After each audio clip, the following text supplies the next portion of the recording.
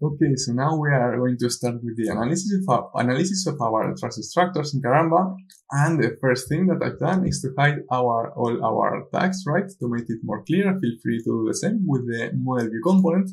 And now let's get our analyze component into the Grasshopper canvas. So of course, again, we need to connect the out, output of the assemble model component here and connect it back. Oops, uh, connect it back here. Okay, perfect.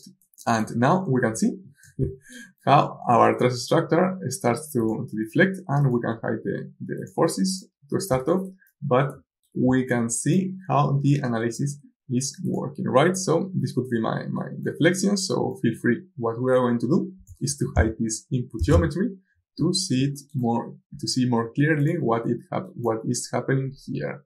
So let's do basically that. Okay. So it looks nice. And of course, feel free to play with the height, with the length, and you can see how the stiffness of this uh, truss changes, of course, when we change the height and, and so on and so forth. And we can play with the subdivisions and with the line load. But I think that this is going to be um, quite interesting when we start playing with the section forces. So what we are going to do is first to check that we don't have any bending moments here. So let's go for it.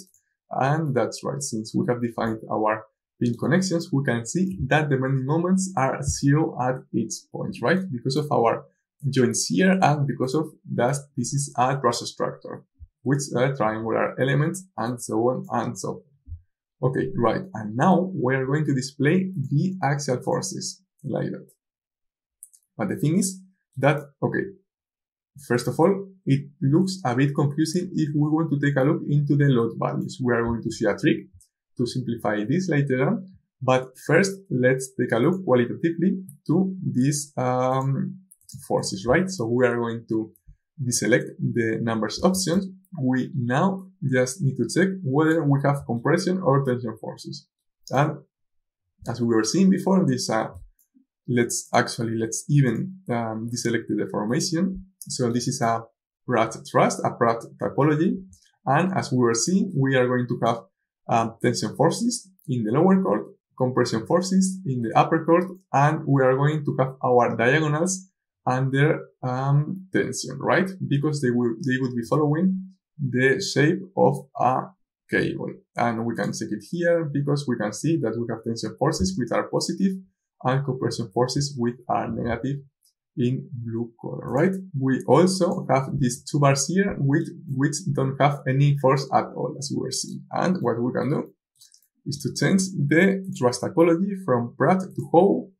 And now our, main diagonals are under, under compression and this is very interesting. And the upper chord is under compression and the lower chord under tension, right? And we can also check the Warren truss in which the force changes from these diagonals who are parallel to these arcs, which are under compression, and the other ones that are parallel to a virtual cable, which are under tension. Okay, so that's very interesting. And now let's take an actual look into the values of these forces. So for that, there are two possibilities. We can click on this numbers option here, but the thing is that this is a bit confusing, right? We have too many values. We can try using these render setting options to um, uh, to make this bigger, this this parameter bigger, like length divided by segment. In this case, if we make this bigger, we can get that we have at, uh, now two force values for each element, but uh, but it still looks a bit confusing at, at, at, least for me, right? Because ideally we would need this uh, force value in the middle of our elements. So what I'm going to do is to tell you a trick how we can make it to display the forces not at both ends, but just with one force value in the center of our elements. So what we're going to do is to get the um, beam forces component here, and with this component we are getting the uh, compression forces for its element here. So now what we need to do, and of course we get two values here, but they are always the same because Trusses work just under axial forces and they are applied as, as nodal loads. So the force is constant throughout the whole element. So let's get the first value of these forces. Or, I mean, if you, if you don't trust me, we could also use the average component in order to make the, to the average of both force values. Okay. So anyway, let's flatten the output. This could be the force values that we want to display here. And now what we are going to do is to get the uh, text tag component. So text tag 3D, that should be it. So for this component, we need, that's right, the value or, or the, the tag that we want to display, but we also need the location. So this would be my value here, which is text, and we need the location. And the location, is going to be in the XZ plane, right? This is the, this vertical plane in which we are working now.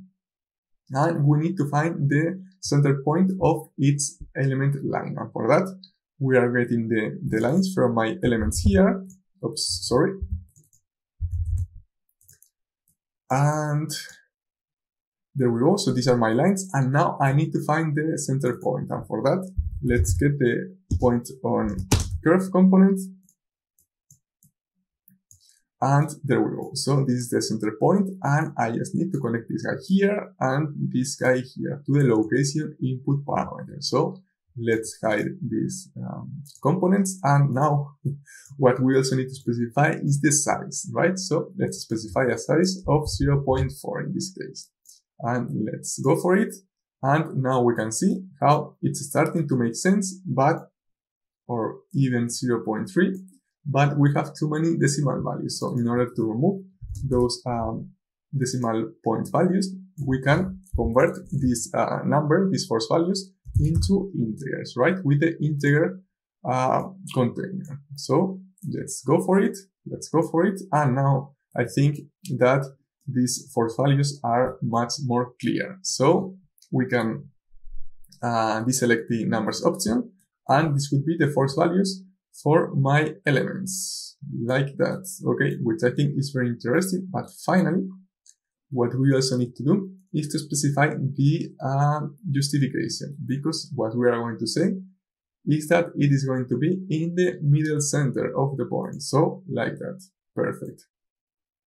Perfect, perfect, perfect. Okay, I think this looks nice.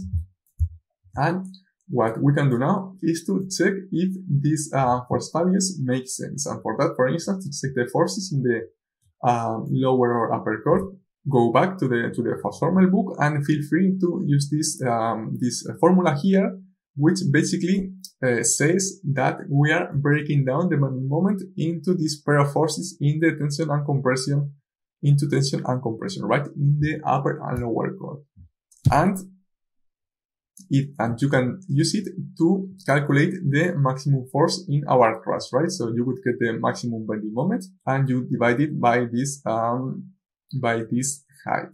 And this would be the formula, but like the line load multiplied by the span width to the power of 2 divided by h times this height, this height value, right? Which is very interesting. So feel free to calculate the maximum um, member force, which is going to happen here in the middle, right? When we have the maximum bending moment as well. But also realize that the span width is to the power of 2 in this formula and the height is to the power of 1. Which means that we have this truss here and now the maximum value is, so let's, let's uh, fix this guy here. So let's use a line load of um, 50 kilonewton meters and let's start with a span width of 20. So now we can realize like the maximum value is here 862 kilonewtons. And feel free to check it with this formula. But now what happens if I make the, sorry, so let's specify 3 meters. But now what happens if I make this truss um, as double as high as now? So now if we do it instead of 36, we can see how these forces are exactly uh, half as we had before, right? We have now 417 and before we had like 833. So just double as much because of this formula, right? Because the height was to the power of 1. However, if we specify the length of 40 instead of 20, we can see how my forces, and, uh, and feel free also to to reduce the, the scale of our forces. So let's even do double click here and the maximum value is going to be 0.1 and yeah, like that. Okay, so now you can see how the forces are not twice as big, but four times as big, uh, as, as high, right? This would be four times uh, 830 more or less, right? What did we have at the beginning? And that's right. And the reason for that is that this span width is to the power of 2 in that formula. Okay, so that would be it regarding the analysis of truss structures. Of course, feel free to play with the subdivisions and with the uh, all parameters here to understand or get a better feeling how truss structures work. Okay, perfect.